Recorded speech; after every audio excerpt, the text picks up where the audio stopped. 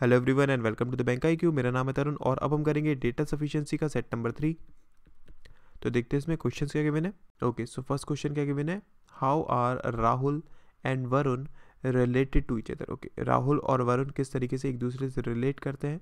First statement में क्या दिया हुआ है? उसने हमसे बोला है कि Rahul's mother has two children okay Rahul की मदर के टू चिल्ड्रन है। एक तो राहुल खुद होगा और एक और कोई होगा। ठीक है। Charu is spouse of Varun, who has no siblings. अच्छा चारू कौन है? वो स्पाउस है किसकी? वरुण की, जो जिसका कोई भी सिबलिंग नहीं है। इसका मतलब क्या यहाँ तो वो आ नहीं सकता है।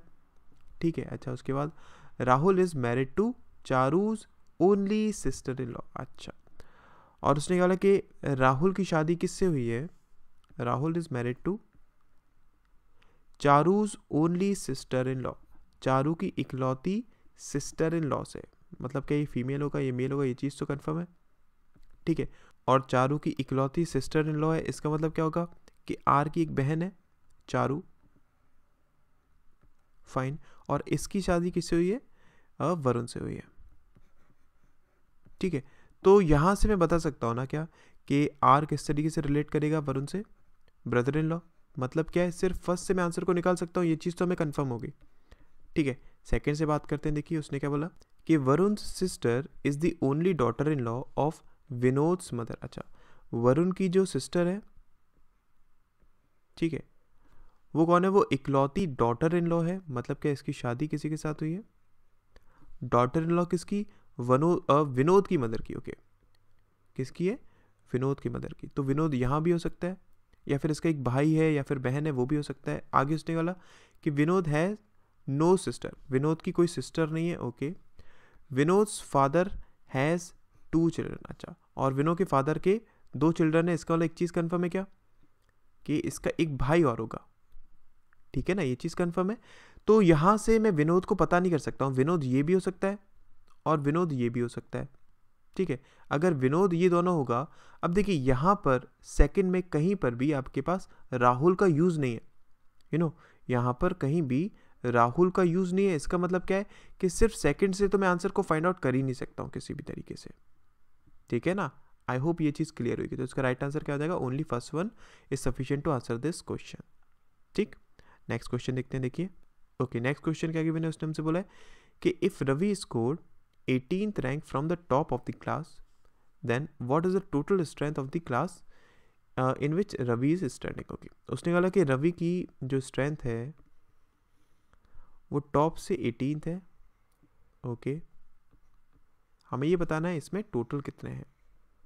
फाइन तो देखिए फ़र्स्ट से इंफॉर्मेशन क्या गिवन है, उसने हमसे बोला है there are twenty one candidates who secured ranks between Vikram and Ravi अच्छा। उसने कहा कि ट्वेंटी वन कैंडिडेट्स हैं जिनकी रैंक विक्रम और रवि के बीच में आती है। मतलब क्या, यहाँ पर अगर आपके पास रवि है, ठीक है तो विक्रम यहाँ से ट्वेंटी सेकेंड होगा। यहाँ से ट्वेंटी सेकेंड वाला क्या, इनके बीच में ट्वेंटी वन और होंगे। तो यहाँ पर क्या आ जाएगा आपके पास? विक्रम आ जाएगा। फिर भी अभी मैं टोटल नहीं बता सकता ना मतलब यहाँ पर कितने लोग हैं, अभी हम कंफर्म तो बोल ही नहीं सकते हैं यहाँ पर। इसलिए मैं यहाँ पर टोटल पर्सन तो नहीं निकाल सकता हूँ, ठीक है। अच्छा इसके बाद देखिए, इसने बोला क्या? कि rank of Vikram classmate of Ravi is nineteen from the bottom of the class अच्छा उसने कहा कि जो विक्रम की रैंक है, ठीक है सेकेंड से हमें पता चल रहा है विक्रम की रैंक है, जो कि क्लासमेट है रवि का, वो नाइनटीन फ्रॉम द बॉटम है okay nineteen from the bottom है तो सिर्फ़ इससे भी मैं आंसर को फाइंड आउट नहीं कर सकता हूँ, लेकिन अगर मैं इन दोनों को जोड़ता हूँ इन दैट केस देखिए, यहाँ से बॉटम से इसकी रैंक पता चल जाएगी ना, आपके पास कितनी है? नाइनटीन है। अब आप टोटल पर्सन यहाँ पर निकाल सकते हैं। ये प्लस ये प्लस ये। ठीक है मतलब इसका राइट आंसर क्या हो जाएगा कि फ़र्स्ट और सेकंड इन दोनों को जोड़कर मैं आंसर को निकाल सकता हूँ। ठीक है ना? क्लियर है? ओके नेक्स्ट क्वेश्चन देखते हैं, देखिए। ओके नेक्स्ट क्वेश्चन क्या गिवन है? उसने बोला है what is the distance between M and A okay M और ए के बीच में डिस्टेंस कितना है? तो देखिए फ़र्स्ट से क्या पता है उसने बोला है कि a person facing north at M moves six metres straight to Q अच्छा। उसने बोला कि एक पर्सन एम पर है। वो यहाँ से सिक्स मीटर्स जाता है, ठीक है, कहाँ पर पहुँचने के लिए? क्यू पर पहुँचने के लिए। उसके बाद then he takes a right turn and moves eight metres to reach B अच्छा अब वो यहाँ से राइट टर्न लेता है और एट मीटर्स जाता है बी पर पहुँचने के लिए। ठीक है, उसके बाद then he takes a right turn from B and walks nine metres to reach S अच्छा अब वो यहाँ से राइट राइट टर्न लेता है और नाइन मीटर्स जाता है मतलब क्या? सिक्स यहाँ, ठीक है, और थ्री यहाँ। कहाँ पहुँचने के लिए? एस पर पहुँचने के लिए। उसके बाद then takes another right turn and walks twelve metres to reach A अब वो यहाँ से फिर से एक राइट टर्न लेता है और ट्वेल्व मीटर्स जाता है मतलब क्या? आठ यहाँ और चार यहाँ। ठीक है, कहाँ पहुँचने के लिए? ए पर पहुँचने के लिए। तो यहाँ से अगर मैं देखूँ एम और ए के बीच में डिस्टेंस मैं फाइंड आउट कर सकता हूँ कि हाँ ये देखिए आपके पास ये कितना है? थ्री है ना? तो ये डिस्टेंस कितना हो जाएगा आपके पास? Under root sixteen plus nine मतलब फाइव हो जाएगा। तो फ़र्स्ट से मैं आंसर को निकाल सकता हूँ, ठीक है? सेकेंड से देखते देखिए उसने क्या बोला कि M is ten metre somewhere south west of B अच्छा एम कहाँ पर है? साउथ वेस्ट में है समवेयर टू बी ठीक है उसके बाद Q is ten metre somewhere to the north west of Q Q कहाँ पर है? Somewhere to the north west okay north west U से। ठीक है? Which is three metres to the north of S U कहाँ पर है? Three metres to the north of S okay उसके बाद A is twelve metres to the west of S A कहाँ पर है? Twelve metres to the west of S okay उसके बाद B is to the east of Q B कहाँ पर है? ईस्ट ऑफ़ क्यू है। तो देखिए, ठीक है, और जब इनके बीच में आपको डिस्टेंस नहीं पता होगा, और हमें डायरेक्शन भी ऐसा इसमें ज़्यादा कुछ पता नहीं है। मतलब कि आपके पास, जैसे कि उसने बोला ना, कि बी कहाँ पर है वो? ईस्ट में है क्यू से। अब वो यहाँ भी हो सकता है बी यहाँ भी हो सकता है बी कहीं भी हो सकता है, और उसके हिसाब से फिर एम का जो डिस्टेंस है, जो डायरेक्शन है, वो भी तो चेंज हो जाएगा ना। इसका मतलब क्या है कि यहाँ से आप एम और ए के बीच में कोई भी रिलेशन फाइंड आउट नहीं कर सकते कि वो कितनी दूरी पर है। इसलिए मैं क्या बोल सकता हूँ कि ये आपके पास क्या हो जाएगा सेकेंड सफिशियंट नहीं आंसर को फाइंड आउट करने के लिए। ठीक है? नेक्स्ट क्वेश्चन देखते हैं, देखिए। ओके नेक्स्ट क्वेश्चन में क्या गिवन है? उसमें बोला कि in a group of five students जिनके नाम यहाँ पर दिए हुए हैं how many of them are heavier than D okay D से हैवियर कितने? हमें ये चीज़ पता करनी है। मतलब क्या? हमें डी की पोजीशन को तो फिक्स करना है किसी तरीके से। ठीक है फ़र्स्ट में देखते हैं क्या गिवन है। One two three four five fine उसने हमसे कहा कि at least two students are lighter than C okay कम से कम दो स्टूडेंट है जो कि लाइटर है सी से। मान लेते हैं ये आपके पास हैवीएस्ट है, ये आपके पास लाइटेस्ट है। इस डायरेक्शन में वेट इंक्रीज हो रहा है। तो कम से कम दो स्टूडेंट लाइटर है मतलब क्या सी आपके पास इन तीनों में से कहीं भी हो सकता है। ठीक है, उसके बाद E is not the second heaviest student अच्छा ई सेकेंड हैवीएस्ट नहीं मतलब क्या? ई e आपके पास यहाँ नहीं आ सकता। उसने हमसे ये चीज़ बोली है। ठीक है, उसके बाद A is not heavier than B अच्छा ए हैवियर नहीं है, इसका ए लाइटर होगा किससे? बी से। ठीक है, उसके बाद the weight of at least one student lies between the weight of A and D अच्छा कम से कम एक स्टूडेंट है ए और डी के बीच में, उसने हमसे ये चीज़ बोली है। ठीक है तो यहाँ से मुझे आप एक बात बताइए, हमें क्या करना है? हमें बस डी की पोजीशन से मतलब है ना हमें डी की पोजीशन को फिक्स करना है डी को यहाँ पर पुट कर लिया मान लेता हूँ मैं ठीक है फिर ए को मैं चाहूँ तो यहाँ पर पुट कर लेता हूँ बी हम्म, को मैं यहाँ पर पुट कर लेता हूँ सी को मैं यहाँ पर पुट कर लेता हूँ ई e को मैं यहाँ पर पुट कर लेता हूँ ठीक है मैंने इसी तरीके से रैंडमली लिख लिया अब इसी में थोड़ा सा चेंजेस करते हैं मान लेते हैं कि डी आपका यहाँ पर है फाइन बी आपका यहाँ पर है सी आपका यहाँ पर है ए आपका यहाँ पर है ई e आपका यहाँ पर है ये भी कंडीशन में पुट कर सकता हूँ ना ठीक है इस केस में भी अगर मैं देखूँ तो आपके पास डी की पोजीशन फिक्स नहीं है ना? दोनों ही कंडीशन आपके पास ट्रू हो रही है। और इसमें क्या है? डी की पोजीशन फिक्स नहीं है, इसका मतलब क्या है? सिर्फ़ फ़र्स्ट से तो मैं आंसर को फाइंड आउट कर नहीं सकता हूँ। ठीक है? अच्छा सेकंड से देखते हैं, देखिए। सेकंड में क्या गिवन है? वही पाँच स्टूडेंट है आपके पास। उसने कहा कि B who is not heaviest student B जो कि हैवीएस्ट नहीं है मतलब बी यहाँ पर नहीं आएगा। ठीक है? Is heavier than E B heavier है किससे? ई e से। Okay and weight of at least one person lies between B and E और एक स्टूडेंट पढ़ता है इन दोनों के बीच में कम से कम।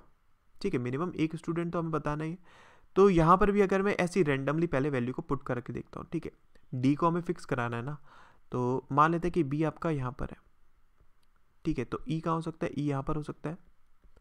फाइन फिर अगर मैं अब यहाँ पर तो ए सी डी को कहीं पर भी पुट कराना चाहूँ मैं कहीं भी पुट करा सकता हूँ सिर्फ़ सेकंड से तो हमें कुछ पता ही नहीं चलेगा ना।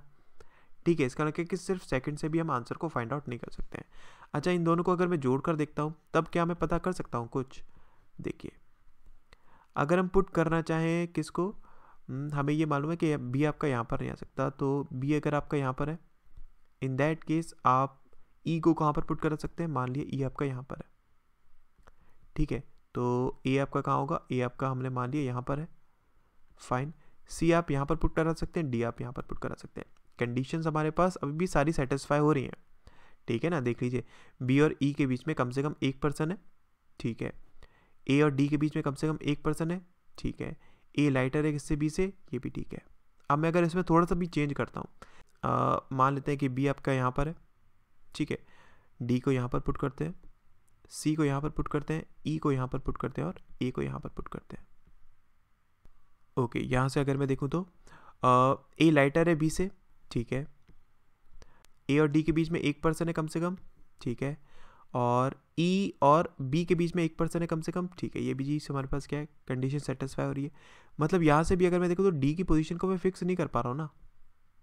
इसका मतलब क्या है, उससे हैवियर कितने मैं ये चीज़ फाइंड आउट नहीं कर सकता हूँ। तो फ़र्स्ट और सेकेंड दोनों को भी जोड़कर मैं आंसर को नहीं निकाल पाऊँगा। ठीक है, समझ में आया ना क्लियर हुआ? नेक्स्ट क्वेश्चन देखते हैं, देखिए। ओके नेक्स्ट क्वेश्चन क्या गिवन है? उसने हमसे बोला है कि among P Q R S T U who is second to the left of Q okay all are sitting around a circular table facing the centre अच्छा उसने ये वाला कि इन सब में से हमें ये बताना है कि second to the left of Q कौन ऊपर होगा? अगर ये सब कहाँ देख रहे हैं? सेंटर की तरफ़ देख रहे हैं। ठीक है तो देखिए टोटल आपके पास मेंबर्स कितने हैं? छः मेंबर्स हैं ना तो मैं इसको बना सकता हूँ, देखिए। One two three four and five six ठीक है, देखते हैं फ़र्स्ट में क्या गिवन है? उसने हमसे बोला है कि T is immediate neighbour of Q and R okay T क्या है? इमीडिएट नेबर है क्यू और आर का। इसकी एक और पॉसिबिलिटी बन सकती है। T is immediate neighbour of Q and R fine उसके बाद u is second to the left of p. U कहाँ पर है? Second to the left of p. मतलब आप p को यहाँ पर पुट कर, आ, करा सकते हैं। तो सेकेंड टू द लेफ़्ट इसके u यहाँ पर हो जाएगा।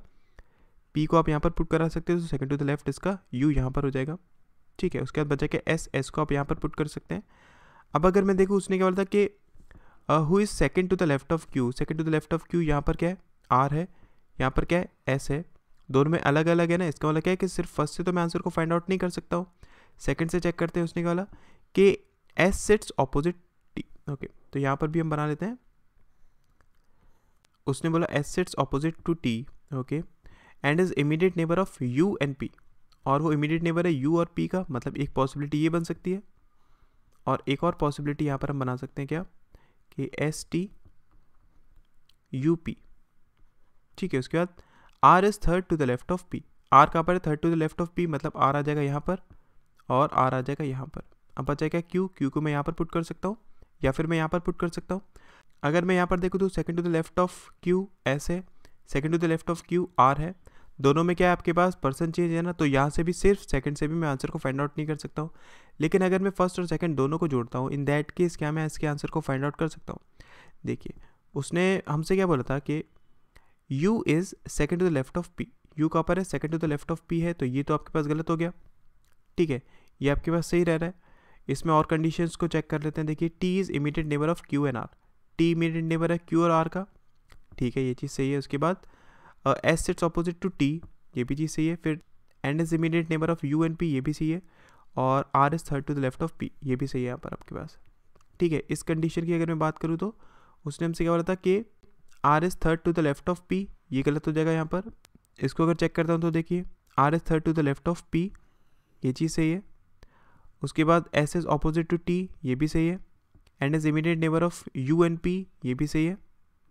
उसके बाद देखूँ तो U is second to the left of P U is second to the left of P ये भी सही है। T is immediate neighbour of Q and R ये भी सही है आपके पास, ठीक है। तो यहाँ से भी अगर मैं देखूँ तो second to the left of Q क्या है आपके पास? एस है। यहाँ से भी ऐसे तो दोनों से हमारे पास पता चल रहा है ना, इसका वाला क्या है कि फ़र्स्ट और सेकंड अगर मैं दोनों को जोड़ता हूँ इन दैट केस मैं इसके आंसर को फाइंड आउट कर सकता हूँ। ठीक है? सो आई होप आपको समझ में आएगा नेक्स्ट क्वेश्चन देखते देखिए। ओके नेक्स्ट क्वेश्चन क्या कि मैंने? उस टाइम से बोला कि in a five floor building on which floor does Vinay lives okay पाँच फ्लोर की बिल्डिंग है, हमें बताना है कि विनय कहाँ पर रहता है। तो देखिए आपके पास one two three four five five floors हैं। ठीक है, उसने बोला कि Vinay lives exactly above Rahul's flat whose flat is exactly above Vijay's flat अच्छा उसने बोला कि विनय का फ्लैट एग्जैक्टली ऊपर है। फ़र्स्ट से हमें ये चीज़ पता है। राहुल के फ्लैट से। ठीक है। और उसका फ्लैट किसके ऊपर है? विजय के फ्लैट से। ठीक है तो यहाँ पर अगर देखो तो इनको मैं कहीं पर भी पुट करा सकता हूँ, इसलिए अभी तो कुछ हम कंफर्म बोल नहीं सकते हैं। ठीक सेकंड से चेक करते हैं, देखिए उसने वाला कि Suresh lives on top floor okay Suresh कहाँ पर है? टॉप फ्लोर पर है। ठीक है थर्ड से चेक करते हैं, उसने वाला कि Manish lives exactly above Vinay's flat okay Manish कहाँ पर है? Exactly above Vinay's flat fine उसके बाद Vijay lives on first floor और विजय कहाँ पर है? फ़र्स्ट फ्लोर पर है। तो सिर्फ़ इससे अगर मैं देखूँ तो भी मैं पता नहीं कर सकता हूँ। लेकिन अगर मैं क्या फ़र्स्ट और थर्ड को अगर जोड़ता हूँ इन दैट केस क्या मैं पता कर पाऊँगा? देखिए, हमें यहाँ से विजय का कंफर्म हो जाएगा, विजय कहाँ पर है? फ़र्स्ट फ्लोर पर है ना। तो इसके हिसाब से राहुल यहाँ पर और फिर विनय यहाँ पर आ जाएगा आपका। इसका मतलब क्या है कि फ़र्स्ट और थर्ड से तो आपके पास आंसर आ रहा है। फ़र्स्ट और सेकंड से आ सकता है क्या? यहाँ से अगर मैं देखूँ तो आप बस सुरेश को पुट करा सकते हैं कि वो टॉप पर है, लेकिन ये कहाँ पर है? ये चीज़ आप यहाँ पर भी पुट करा सकते हैं और यहाँ पर भी पुट करा सकते हैं। इसका मतलब क्या है? फ़र्स्ट और सेकंड से भी नहीं आएगा। सेकंड और थर्ड को देखते हो तो आप सुरेश को यहाँ पर पुट करा सकते हैं, विजय को यहाँ पर पुट करा सकते हैं, लेकिन विनय और मनीष यहाँ पर भी आ सकते हैं, यहाँ पर भी आ सकते हैं। तो विनय की एक पोजीशन कोई भी फिक्स नहीं होगी ना। इस वजह से सेकेंड और थर्ड से भी आंसर नहीं आएगा। तो इसका राइट आंसर क्या हो जाएगा? फ़र्स्ट और third is the right answer ठीक है? आई होप जितने भी आज हमने क्वेश्चन किए वो आपको समझ में आए होंगे। थैंक यू सो मच अभी कुछ क्वेश्चन आपको देता हूँ करने के लिए तो उनको एक बार ट्राई करिएगा। ओके सो ये क्वेश्चन है, इसको ट्राई करिएगा। ये क्वेश्चन है, इसको भी ट्राई करिएगा। ठीक है? नेक्स्ट वीडियो हम लोग डिस्कस करेंगे। Thank you so much